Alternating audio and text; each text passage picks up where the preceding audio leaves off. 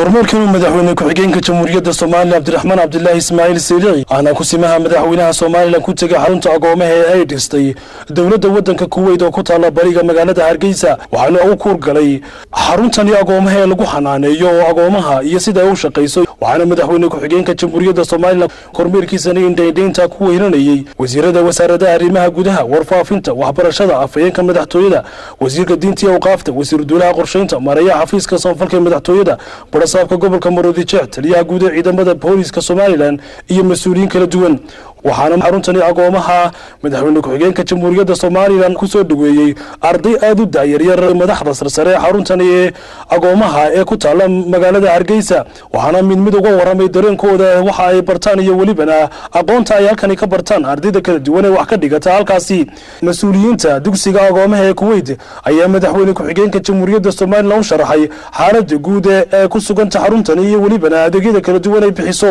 Maareeyaha xafiiska samafalka ee madaxtooyada somalilan aamine maxamuud yiriye ayaa waxay sheegtay in xaruntani agoomaha ee kuweyt ay buuxisay baahiyo badan oo jiray. Guud ahaan horta hay'addani waa hay'ad xukuumiya oo xukuumadda hoos timaada gaar ahaan xafiiska samafalka hoos timaada waxaan u samaynaa had iyo jeeraale wixii cashuur dhaaf ah ee dalka soo gelaya qalabka aragtaan dhismaha aragtaan wax aliyaalo wixii u yimaada cashuur dhaafa xukuumadda u samaysa.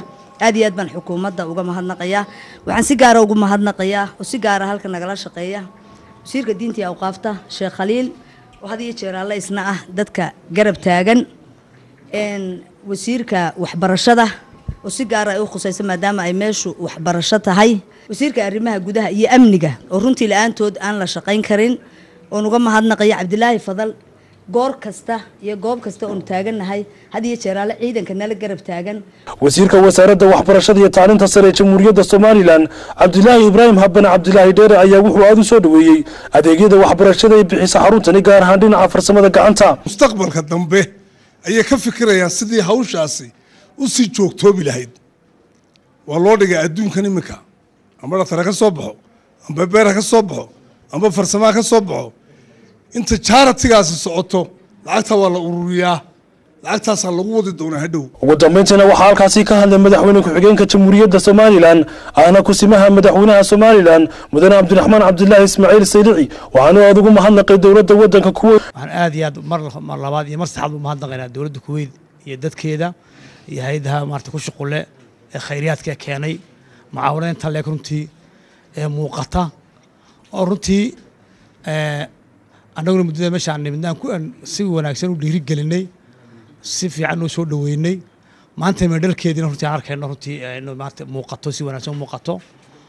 Waxaan rajaynaynaa si aad sheegteen inaad ballaadhisaan ood gobollada kale somaliland aad gaadhsiisaan. Kuweydana waxaan is leeyahay dowladda koowaad inay lamarwan ka noqonayso dalalka caalam alcarab ama caalam alislaam dalka koowaad ee mucaawina intaa leeg ama mashaaric intaa leegoo midhodhala dalkan geliyey inay yihiin waan u qiraya. Runtii imaaraadka qudhiisu wax badan buu noo qabtay. Sacuudi baan ka sugaynaa qatar baan ka sugaynaa. Laakiinse dadka odhanaya sida maamulaha somaliland waa ictiraafteen. Ictiraaf meesha ictiraafku halkiisu yaallaa oo dalkan ummaddan iyagaa go'aankan qaatay inay ummad qaran awalba jiray ahaa iminka dib soo noqdaan. Laakiinse waxa weeyaan walaalaha iyaga dowladaha islaamka xaq baan ugu leenahay. Waxay siinayaan walaalaha soomaaliyeed. Annagana siin xaq baan ugu leenahay. Dabata laba dadoo siman oo walaalahooda ayaa nahay. Dhinaca kalena madaxweyne ku-xigeenka jamhuuriyadda somalilan ahna kusimaha madaxweynaha somalilan ayaa wuxuu baaqdheer u diray shacabka somalilan sidii ay u ilaashan lahayn nabadgelyada.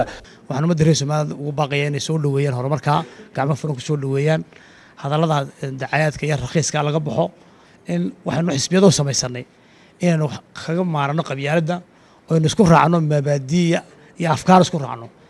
Shacabka reer somaliland waxaan leeyahay waxaad ku tartamaysaan ama ad wax ku kala dooranaysaan ciddii wax idin qabatay iyo ciddii wax idin taraysaa.